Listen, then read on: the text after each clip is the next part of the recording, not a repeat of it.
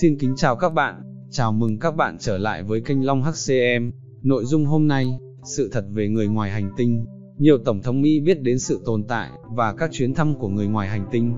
Tuy nhiên, họ buộc phải che giấu những thông tin bí mật này. Với công chúng, một số Tổng thống Mỹ được cho là biết đến những bằng chứng, chứng minh người ngoài hành tinh ghé thăm trái đất. Trong những lần ấy, nhiều mảnh vỡ của UFO, thi thể người ngoài hành tinh được tìm thấy. Thêm nữa, hàng ngàn người dân báo cáo nhìn thấy UFO.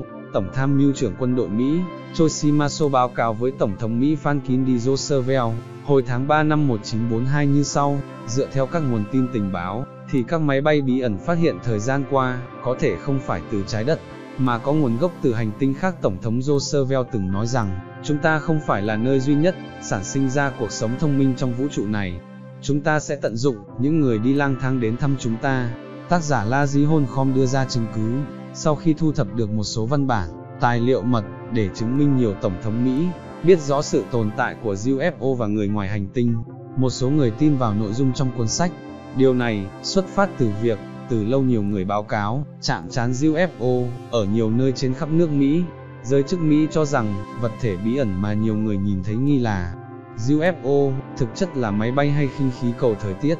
Lời giải thích như vậy, không nhận được sự đồng tình của tất cả mọi người. Vùng 51 tối mật của Mỹ tại Nevada, cũng được cho là nơi chính phủ che giấu thi thể, người ngoài hành tinh cũng như UFO.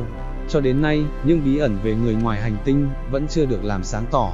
Các quan chức cấp cao của Mỹ không thừa nhận sự tồn tại của người ngoài hành tinh. Cảm nghĩ của các bạn như thế nào? Hãy comment bên dưới.